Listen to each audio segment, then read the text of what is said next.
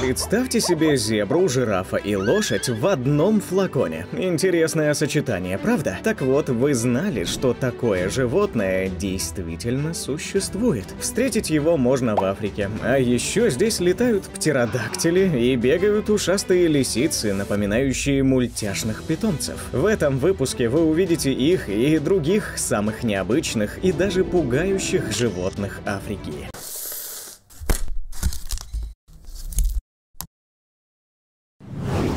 Что это такое? Животные в Африке, какими бы странными они ни были, известны науке и многим исследователям в целом. Но вот это создание, обнаруженное путешественниками, поставило весь мир на уши. Как вы думаете, кто это такой? Вот-вот, я тоже без малейшего понятия. С одной стороны, этот монстр напомнил мне собаку, с другой он похож на древнего дракона, дышащего пламенем. Кажется даже, что он вовсе не является чем-то земным земным, а прибыл к нам откуда-то с другой планеты. Какой версии придерживаетесь вы и считаете ли, что эта находка реально была обнаружена? Напишите в комментариях, будет интересно почитать.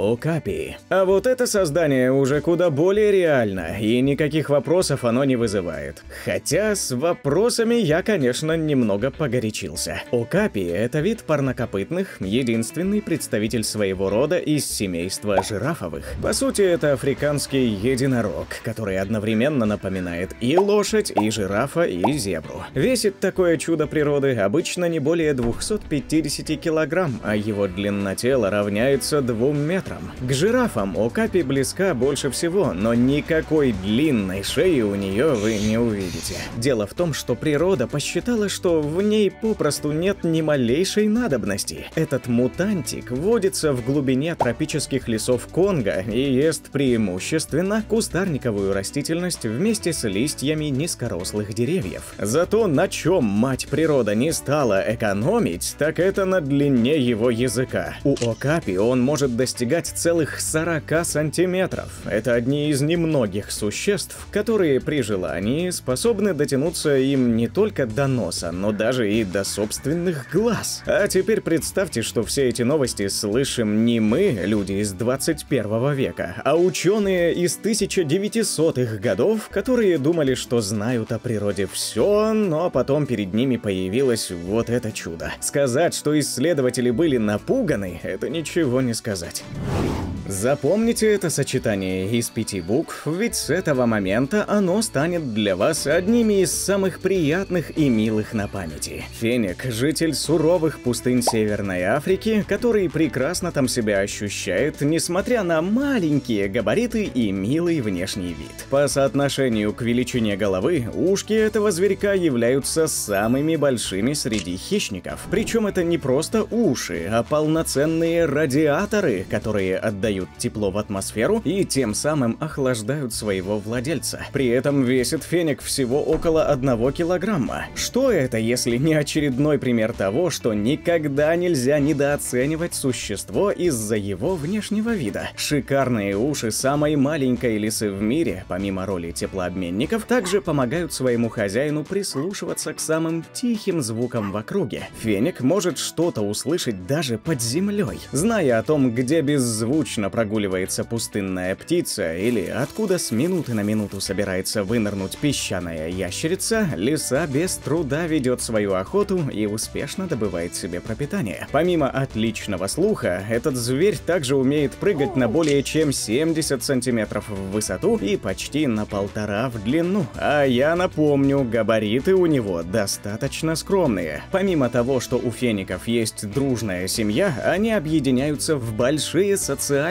группы. Лисы наслаждаются обществом друг друга. Животные играют и веселятся вместе, как маленькие детишки. Лисички идеально адаптировались к условиям жизни в пустыне, но сегодня все чаще можно встретить феников в частном доме или даже в городской квартире, чему я даже совсем не удивлен. Следующее африканское создание, которое удалось обнаружить ученым, это длинноухий прыгунчик. Это такие млекопитающие из семейства... Угадайте какого? Правильно, из семейства прыгунчиковых. У них большая голова, хоботообразный вытянутый нос, а также тоненькие конечности и длинный хвост. Животные быстро бегают и высоко прыгают. По сути, если человек плохо знаком с природой, он может издалека спутать это уникальное создание с обычным тушканчиком. Не, ну а что, у него ведь тоже вытянутые округлые ушки, выразительные глаза-бусинки и тонкие, но сильные лапки. Последними, к слову, животные орудуют весьма активно. Не зря ж их прыгунчиками назвали. Хорошо хоть что к мышкам не стали относить, а ведь их образ жизни очень на них похож. И это при том, что генов грызунов в крови прыгунчиков нет. Они постоянно где-то копаются, ходят только там, где до этого проложили путь, а также прячутся в норках. Что интересно, вместе с этим прыгунчики считаются и настоящими хищниками. В охоте им помогает удобный и навороченный хоботок. Их потенциальной добычей обычно становятся насекомые, пауки или термиты. Длинноухие прыгунчики пользуются подвижным хоботом, напичканным чувствительными волосками-вибриссами. Этот гибкий отросток, подобно локатору, обнаруживает подходящую цель, после чего та моментально отправляется в пасть.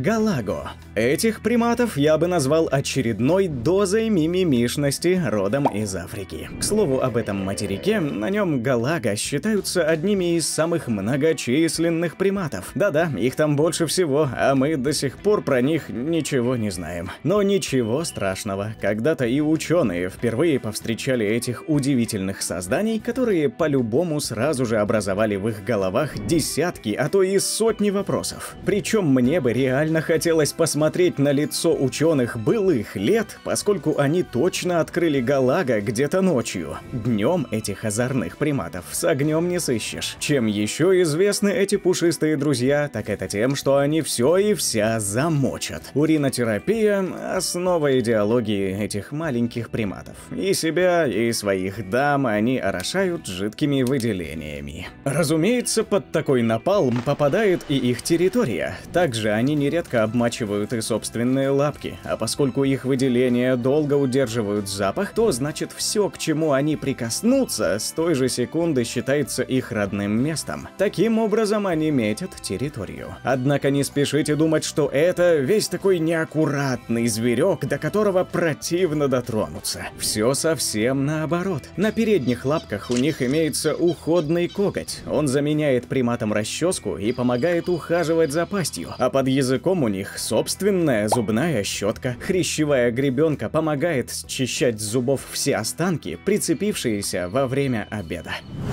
китоглав. А это один из самых необычных аистов, которых я когда-либо встречал. Хотя ладно, давайте будем корректны. Китоглав раньше относился к аистам из-за общей формы тела. По генетике же он похож на пеликанов и цапель. Опять-таки, даже сложно представить, как именно ученые отреагировали на это создание, увидев его впервые. Ведь у этой птицы ростом 1 и 2 метра просто гигантский и уникальный в своем роде клюв. Не Неудивительно, что это первое, что вообще бросается в глаза. Клюв может превышать 20 сантиметров в длину, а его ширина нередко равняется ширине самого китоглава. Этой штуковиной птица ловко ловит рыбу, земноводных, змей и даже маленьких крокодильчиков. Англичане насмешливо сравнивают клюв птахи с деревянным башмаком. Только вот этот башмак способен проломить панцирь черепахи, так что череп шутников, если птицы об этом узнают, расколется и подавно. Хотя ладно, вряд ли они когда-то услышат эту шутку. Им попросту ее никто не расскажет. Живут китоглавы обычно по одному. Такой выбор они сделали из-за того, что в одиночку гораздо легче маскироваться в высокой траве. Из-за этого для успешной охоты китоглав иной раз может стоять часами неподвижно. Пришло время мистики, и первым делом я хочу рассказать вам о Конгамато. Конгамато — это легендарный легендарное существо или криптид, которое, согласно местным преданиям, обитает в Южной Африке, особенно в регионе Мбонга в Замбии. Конгамата описывается как большая птица или летающая рептилия с крыльями, похожими на крылья летучей мыши и острыми зубами. Часто его сравнивают с такими древними ящерами, как птеродактили. Существует несколько свидетельских отчетов о встречах с Конгамата. Очевидцы утверждают, что существо атакует скот, а иногда даже нападает на людей. Некоторые утверждают, что видели Конгамата покидающим пещеры или летящего над реками и озерами. Однако мне больше всего запало в душу вот это видео, на котором некая птица в Африке пролетает над голубым небом, как ни в чем не бывало. Ролик многократно проверяли на предмет монтажа, но никаких следов редактирования обнаружить не смогли. Тут есть две теории. По одной, это какой-то динозавр, оставшийся в живых по сей день. По другой, перед нами легендарное существо Конгамата. Что из этого лучше, я даже и не знаю. Мокеле Мбембе – это еще один легендарный криптид, который, согласно рассказам и местным преданиям, обитает в дебрях Центральной Африки, особенно в районе реки Конго. Описания Мокеле Мбембе различаются, но принято считать, что это огромное существо наподобие динозавра или дракона с длинной шеей, большим туловищем и сильными задними лапами. Местные жители утверждают, что Мокеле Мбембе может может достигать длины до 15 метров и иметь шкуру, покрытую прочнейшей чешуей. Интерес вызывает то, что существует некоторое количество свидетельских отчетов о встречах с этим монстром, и все они выглядят достаточно правдоподобно. Очевидцы утверждают, что видели его в воде, как он пересекает реки или всплывает на поверхность, издавая при этом уникальный в своем роде рев. От мифических существ перейдем к настоящим монстрам, которые реально существовали на нашей планете. За десятки и сотни миллионов лет в океане обитало огромное количество опаснейших созданий, но едва ли кто-то из них мог бы посоперничать с Мегалодоном, самой известной доисторической акулой, а также самой опасной и агрессивной акулой всех времен. Мегалодон мог вырасти до 20 метров в длину и весить почти 50 тонн. Современные хищные акулы и рядом не стоят с таким монстром. Те же большие белые акулы редко превышают достигают 6-7 метров в длину и весят около 1-2 тонн. Помимо невероятных размеров, у мегалодонов были невероятные зубы. Именно за них акула получила свое название, которое с греческого языка означает «большой зуб». Здесь все по делу, ведь в длину зубы мегалодона достигали около 20 сантиметров. Это один из самых значительных показателей всех времен. 276 таких зубов, расположенных в 5 рядов, в совокупности с огромными размерами акулы, ее обостренными хищническими инстинктами и лютой агрессией делали Мегалодона настоящим монстром, который сейчас расправился бы с любой другой хищной акулой. К слову о них, в настоящее время в океане тоже хватает жутких монстров, и бычья акула выделяется среди них. Скорее всего, Мегалодон прикончил бы ее, вступив с ней в схватку, но бычья акула могла бы попробовать дать отпор. К тому же, эта акула не во всем уступает Мегалодону. В отличие от доисторического монстра, акула-бык может плавать в пресной воде, поэтому ее можно увидеть во многих реках. Мегалодон гордился бы своим дальним потомком, потому что акула бык – это тоже агрессия и мощь во плоти. Иглокожие и ракообразные, скаты и дельфины, морские черепахи и морские змеи. И, конечно, человек этому хищнику не важно, кто на его пути, он снесет любого. Отпор бычьей акуле могут дать разве что касатки, потому что превосходят их по размеру, и люди, если речь идет об охоте и промысле. Любое другое создание падет жертвой и будет съедено безжалостным хищником. Воромби. Опасные и крупные создания встречаются не только в море, хоть в воде их, как правило, больше. Есть свои жуткие существа и на земле. Хорошо, что некоторые из них уже вымерли, как воромби. Только представьте, если бы эта птица все еще населяла землю. Ученые считают, что воромби были самыми тяжелыми и крупными птицами всех времен, что автоматически делает их очень опасными. Современные страусы показались бы на их фоне крохами, ведь воромби зомби вырастали до 3 метров в длину и весили около 800 килограмм. Самыми крупными были представители вида Воромбе Титан. Из-за своих колоссальных размеров Воромбе не могли взлететь, поэтому шастали по полям и лесам Мадагаскара. Зоологи составили 3D-модель головного мозга этих птиц и выяснили, что Воромбе плохо видели и вели ночной образ жизни, обитая в основном в темных лесах. Питались они, по-видимому, растениями, плодами, семенами, листвой листвой и насекомыми, поэтому их нельзя назвать самыми опасными птицами в истории, но следующих пернатых можно.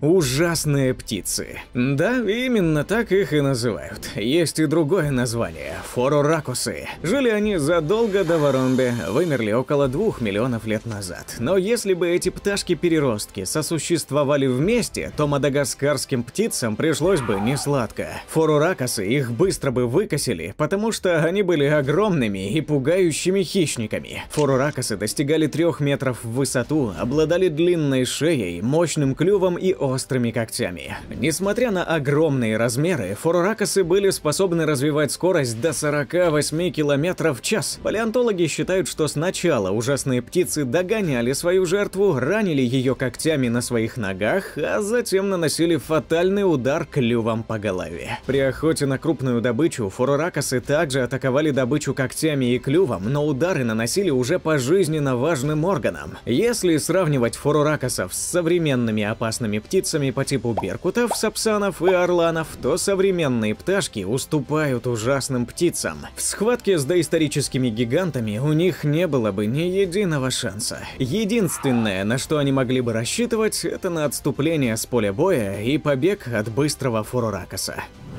Раз уж я заговорил о глубокой древности, почему бы не взглянуть на динозавров? Эти ящеры по умолчанию представляются нам как одни из опаснейших существ всех времен, однако динозавр динозавру рознь. Одни были совсем безобидными и небольшими, в то время как другие были настоящими монстрами. И самым опасным из них был вовсе не пресловутый тиранозавр, а гиганотозавр. 13-метровый хищный ящер весом около 8 тонн держал в страхе жителей мелового периода на территории современной Аргентины. Тиранозавров он не ел, тирексы просто-напросто жили гораздо позже, но если бы они сосуществовали, то тиранозавры регулярно становились бы жертвами гиганотозавров. В этом есть смысл, ведь если гиганотозавр мог расправиться даже с 30-метровыми титанозаврами, то 12-метровый тирекс был бы для него легкой закуской.